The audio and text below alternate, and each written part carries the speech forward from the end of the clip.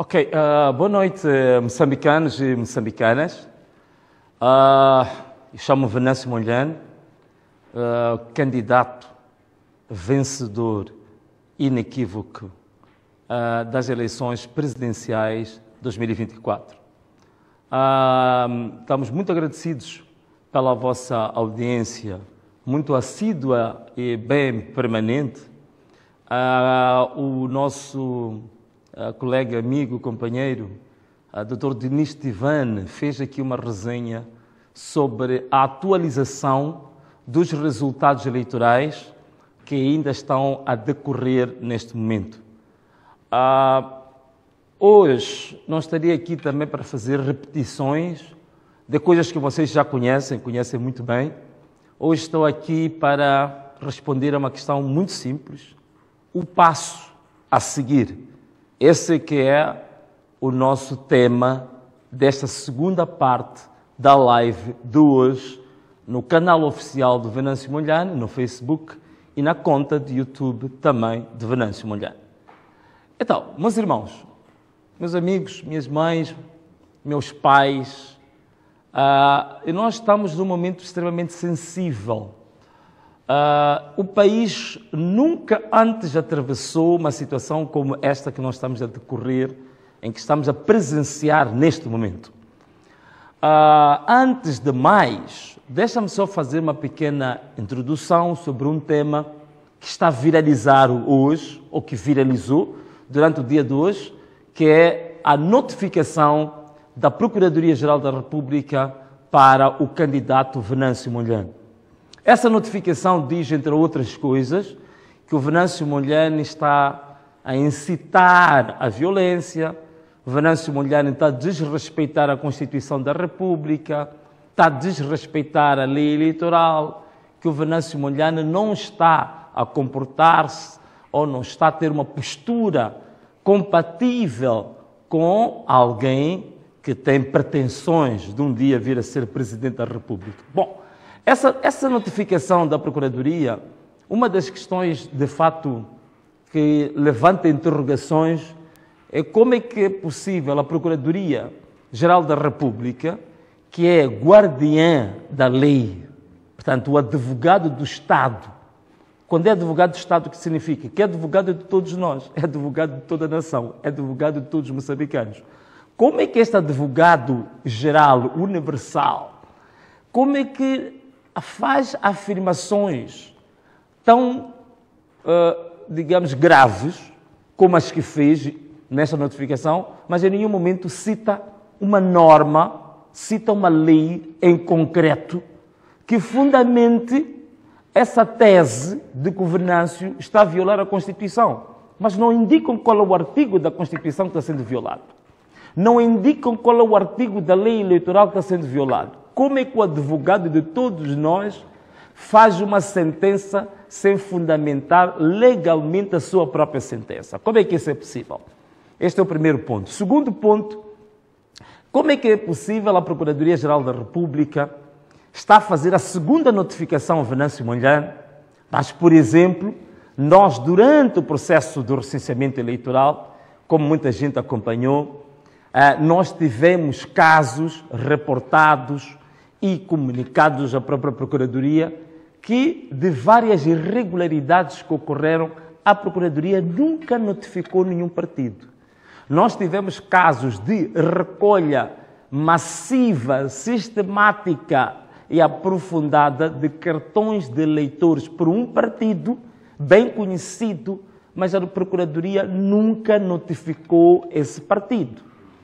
Nós tivemos ainda no período da pré-campanha, um candidato de um partido que usou meios públicos, usou viaturas da FASE, FASE que é o Fundo de Apoio ao Setor da Educação, tanto o Fundo de Apoio à Educação das nossas crianças, dos nossos jovens, é as viaturas que foram importadas com dinheiro público, foram todas elas alocadas para fazer a pré-campanha de um candidato. A Procuradoria nunca notificou nem esse candidato, nem o tal partido. O próprio partido, estamos a falar do partido Frelimo, usou viaturas da polícia É, temos imagens que viralizaram, estão aí gratuitas para quem quiser, para dar e vender, viaturas da polícia que usavam, hasteavam a bandeira do Partido Frelimo é, nunca ninguém foi notificado, nem o comandante da polícia, nem este partido, nem o tal candidato. Nós tivemos, isto visualizei eu, em Nampula, no aeroporto de Nampula, ah, estavam para receber o candidato desse partido, estavam lá viaturas da guarda presidencial, portanto, a casa militar foi ela deslocada para o aeroporto de Nampula para receber o candidato de um partido. As forças de defesa e segurança nos vários ramos, como o CIS, como o CERNIC e outras áreas da inteligência, estavam no aeroporto de Nampula para receber um candidato. A polícia da ordem pública estava no aeroporto de Nampula para receber um candidato. O protocolo do Estado estava no aeroporto de Nampula para receber um candidato. A antiga presidente da autoridade tributária saiu de Moçambique para Portugal acompanhando um candidato, usando fundos públicos, usando o tesouro público. Os exemplos são vários, são tantos, que eu ficaria aqui todo dia até o amanhecer só a citar. Em todos estes casos, a Procuradoria não notificou este partido, a Procuradoria não notificou este candidato nunca disse que usar fundos públicos é crime, nunca disse que usar forças de defesa e segurança para um partido, partidarizar o Estado, também é crime. A Procuradoria nunca se pronunciou sobre isto. E agora pronuncia sobre o Venâncio. Primeiro porque usávamos uma música que eles diziam que havia uma palavra que insultava alguns. Agora dizem que o Venâncio está a incitar a violência, mas não citam legalmente qual é o fundamento normativo, qual é a norma que o Venâncio está a infringir. Isto tudo porque querem intimidar o Venâncio. Porque sabem muito bem, pela primeira vez neste país, nós estamos a apresentar resultados paralelos aos órgãos eleitorais e resultados fidedignos. Nós temos atas editais fidedignas. E vamos depois disponibilizar um site, um, uh, um, um link no Google Drive que qualquer pessoa poderá entrar e verificar que os números que nós estamos a usar, qualquer pessoa também pode fazer as suas contas em casa. Tal e qual aconteceu em 2023, nós também fizemos cálculos paralelos a partir da nossa unidade técnica de processamento nós apresentamos até hoje, quem quiser ver os resultados das eleições autárquicas da cidade de Maputo, pode entrar no Google Drive e vai encontrar todos os editais, escola por escola, posto por posto, assembleia por assembleia, resultados verdadeiros, reais, que mostrava que nós ganhamos as eleições autárquicas sem nenhuma sombra de dúvida. Infelizmente, infelizmente, o Conselho Constitucional, quando nós submetemos o nosso recurso, por vergonha, sabiam que se fizéssemos cálculos com base nos editais originais que nós enviamos, a vitória era naturalmente para Venâncio Mondlane e para o partido que eu representava. O Conselho Constitucional não mexeu nos editais e atribuiu números ocasionalmente ao Partido Frelimo e ao candidato ilegítimo que agora está a governar a cidade de Maputo, bom, nem parece estar governado, porque parece um morto-vivo e um fantasma que ninguém conhece, ninguém lhe vê, e está a passar, digamos, um mandato assim, digamos, espécie de, de, do inferno na Terra. Meus amigos, esta que era a questão que eu queria falar relativamente à notificação da Procuradoria. Eu estou pronto. Se acharem que querem me prender por isso, podem vir prender. Eu estou pronto, estou preparado para o que der e vier. E não vou fugir deste país, não me vou refugiar em lado nenhum. Estou aqui, a minha casa é bem conhecida, é a casa onde estiveram, esteve rodeada de muitos blindados no ano passado, portanto qualquer pessoa pode lá chegar. Estou a andar pela cidade à vontade, nem ando com segurança. Quero empreender, notifiquem para empreender, estou pronto para empreender.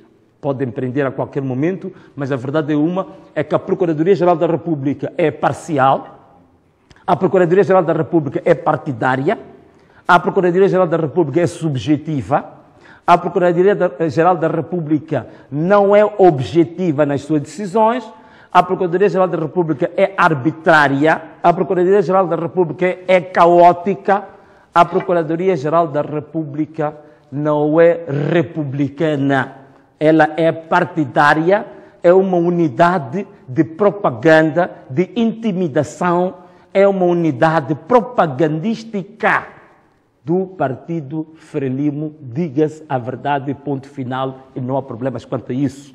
E assumo todas as consequências do que estou a dizer aqui e algumas coisas que ainda vou dizer hoje, que se calhar sejam muito mais graves do que essa questão da notificação da Procuradoria-Geral da República. Meus amigos, passamos esta etapa de falar do Ministério Público, da Procuradoria-Geral da República, se calhar devia dizer Procuradoria-Geral da Frelimo, não da, não da República. Agora vamos passar para o segundo ponto. Uh, infelizmente, está-se a repetir o cenário que nós vivemos no ano passado, nas eleições autárquicas, em que os órgãos eleitorais, ao nível das mesas, não conseguiram manipular o resultado. Apesar de todo o enchimento, ou a missão de observação da União Europeia, na sua, uh, digamos, na sua, no seu comunicado preliminar, uh, deu por provado indícios claros de enchimento de urnas, apesar de terem enchido tanto as urnas, não conseguiram alterar a tendência de vitória esmagadora de Venâncio Mondlane e do Podemos. Por isso que os editais que saíram das mesas onde as pessoas depositaram os votos estamos claramente em vantagem inquestionável, inequívoca, insufismável. E por isso que os órgãos eleitorais, o que, que fizeram? A maior parte dos presidentes das mesas pegaram nos editais, fugiram com os editais, alguns negavam assinar os editais, outros ainda desapareciam um, um dois dias com os editais nas suas casas, outros casos ameaçavam os delegados de candidatura do Podemos para não participar nas salas, para fazer a fiscalização. Noutros casos, como por exemplo tivemos na escola primária de Guava, uh, forças de defesa e segurança invadiam as salas com armas de fogo, ameaçando os nossos jovens para que saíssem para trocar as urnas. Trocando urnas, não credenciando os nossos delegados de candidatura, fazendo enchimentos, fazendo ameaças com armas de fogo, fazendo todo tipo de jogadas, maracutaias. Mesmo assim, saímos no fim do apuramento parcial com vitória inequívoca para Venâncio Molhane e para o Podemos. Agora, no apuramento intermédio, é, é, foram arranjar resultados falsos, editais falsificados, alteraram os números. Ainda hoje houve uma conferência de imprensa na Zambésia, em que o nosso mobilizador nacional, uh, Joel Amaral, apresentou provas de como é que a, a, a Comissão Distrital de Eleições uh, de Climane alterou os resultados.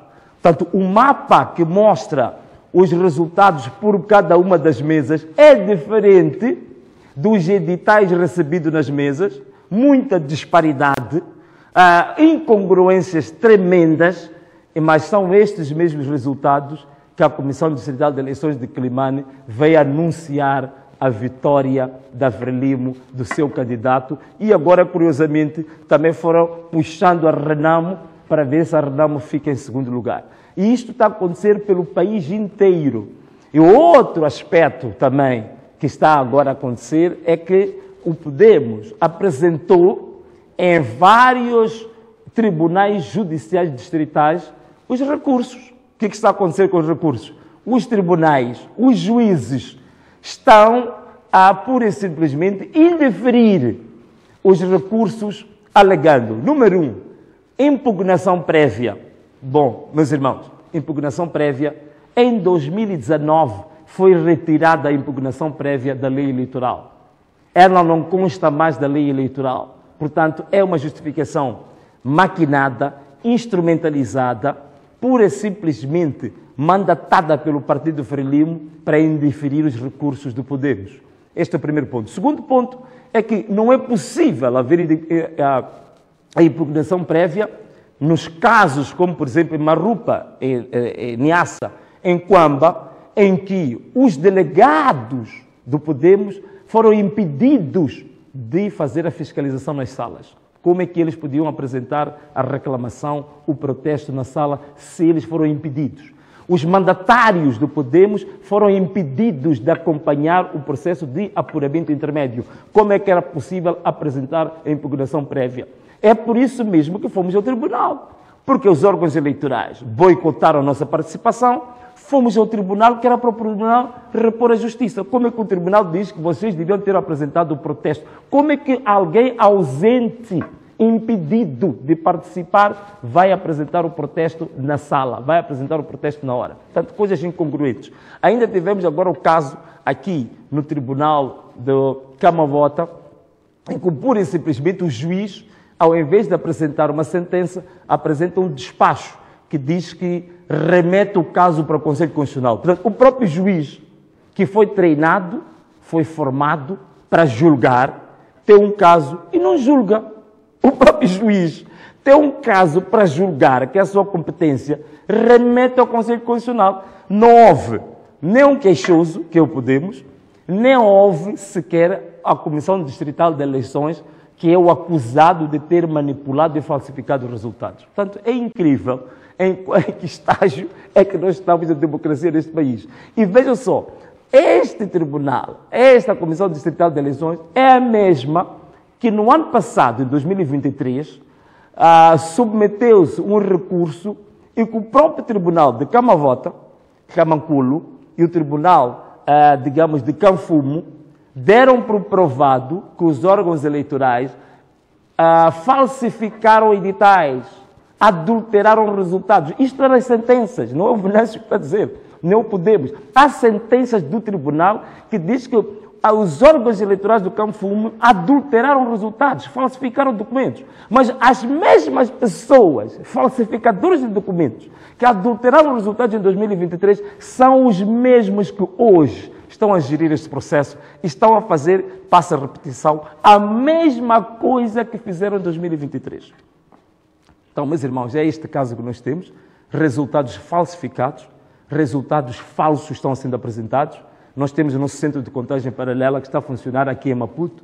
Estamos a receber agora a indicação de que a polícia quer invadir o nosso centro de contagem paralela para ir destruir os editais, para ir roubar os editais, mas nós não somos assim tão distraídos, né? A gente processa os editais já saíram de lá. Portanto, se forem para lá, podem destruir o que quiserem, não vão encontrar um único edital. Não só a gente retira os editais, como estamos a fazer o scan de todos os editais. Virtualmente eles existem e já estão num site que nós vamos dar a conhecer todo mundo. Portanto, a, a polícia a, assim analógica, né, que pensa que tem que encontrar coisas físicas, vai perder o seu tempo. Nós agora estamos na fase digital, está tudo digitalizado, muito bem guardado. Mas também não tem como. Nós temos mais de 60 jovens que estão à espera dessa polícia que quer invadir o nosso, nosso centro. Né? São jovens bem fortes, bem preparados para o que der e vier. Bom, meus irmãos, esta era a questão que eu queria levantar em relação aos, ao tratamento que está sendo dado aos resultados anunciados oficialmente pelas comissões distritais de eleições e agora as comissões provinciais de eleições também já começaram a anunciar. E anunciam resultados na ausência dos nossos mandatários. E existem processos a ocorrer em tribunal, mas mesmo assim as comissões provinciais de eleições estão a anunciar resultados. Quer dizer, isto aqui é um filme que eu penso que talvez a Hollywood ou Bollywood lá da Índia deveria fazer algum filme para mostrar o, o cúmulo do absurdo, não é? Em que nós estamos aqui em Moçambique, não é?